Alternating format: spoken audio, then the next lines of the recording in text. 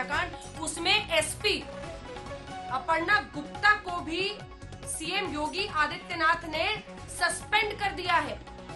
उत्तर प्रदेश में कानून व्यवस्था को लेकर ये गंभीर कदम उठाते हुए, सख्त कदम उठाते हुए योगी आदित्यनाथ, क्योंकि जिस कानपुर के लैब टेक्नीशियन मर्डर केस में पूरा मामला उठा था और आज तक ने इस खबर को पुरजोर तरीके से आज सुबह से दिखाया था।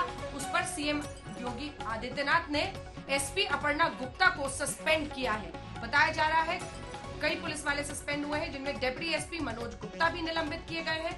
ये सभी लोग निलंबित किए गए हैं और एसपी अपर्णा गुप्ता भी बड़ी कार्रवाई हुई है। Kanpur lab technician murder case में, जो हम आपको बता रहे हैं। लगातार कानून व्यवस्था एक बड़ी चुनौती बनती हुई माफ़ कीजिएगा, थोड़ा सा करेक्शन है। अपर्णा गुप्ता एएसपी है। चार बड़े अधिकारियों को सस्पेंड किया गया है, जिसमें एएसपी अपर्णा गुप्ता है, जिन्हें सस्पेंड किया गया है। डेप्यूटी एसपी मनोज गुप्ता भी निलंबित किए गए हैं।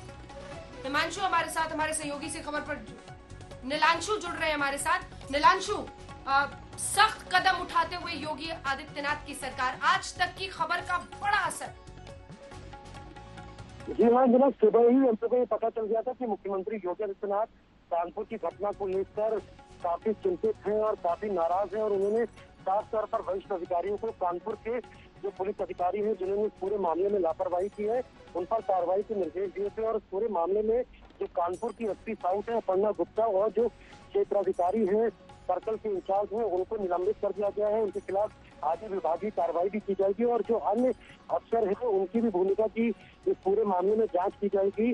जो बर्रा थाने के इंस्पेक्टर थे, रंजीत राय, उनको पहले ही निलंबित कर दिया गया है और साफ़ तौर पर परिवार वाले पुलिस पर गंभीर लापरवाही का आरोप लगा रहे हैं। साफ़ तौर पर ये कह रहे हैं कि पुलिस ने इस अपहरण की घटना को गंभीरता से नहीं ली, पर जब तीस लाख रुपए फिरौती उन्होंने दी तो पुलिस अब ये क्यों कह रही है कि फिरौती दी गई या नहीं दी गई, इसकी वो जाँच कर रही है। साफ़ तौर पर परिवार वाले ये भी आरोप लगा रहे हैं, ये भी आशंका जता रहे हैं कि जो फिरौती की रकम है, वो शायद पुलिस वालों ने ले या किसी को दे दी। तो इस पूरे मामले की अभी फ़िलहाल जाँच चल रही है और अंजना, यहाँ पर काफ़ी लोगों का गुस्सा देखने को मिल रहा है पुलिस प्रशासन को लेकर। इस पूरे जो संजीव यादव का घर है, उसके बाहर भारी संख्या में पुलिस बल भी तैनात है और थोड़ी देर पहले पुलिस प्रशासन के खिलाफ नारेबाजी भी की गई थी तो इस पूरे मामले को लेकर जाँच हुई है और, और कहा यह जा रहा है कि आगे चल के जो और वरिष्ठ अधिकारी है उन पर भी कार्रवाई होगी क्योंकि पहले से ही कानपुर पुलिस विभागों में विकास दुबे और उसके बुर्गो ने जिस तरह से आज पुलिस कर्मियों की